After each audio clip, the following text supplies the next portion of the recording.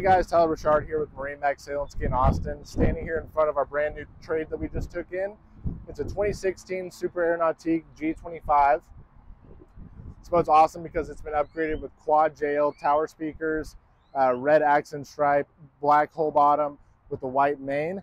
Uh, looking down the side, it's got the full Super Air Nautique badging. It's got the teak flooring on the inside. This boat does not come with a trailer, but trailers are available for this boat. So if you have any questions, um, but we can go ahead and hop up on the inside and see what this boat's all about.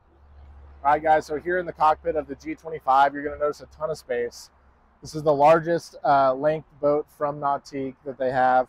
You're gonna notice huge bench seats that come down the side. You're gonna have pop-up seat backs here. You're gonna have a ton of storage in the gull wing area.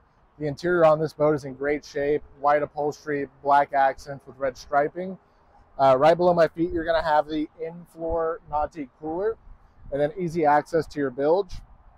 As we work our way up here, you're gonna notice you're gonna have the touchscreen LINC Panorama display by Nautique.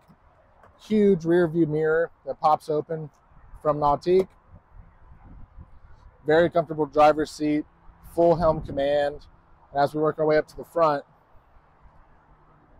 tons of space up here, including a bow filler cushion, so it turns into a huge playpen up in the front.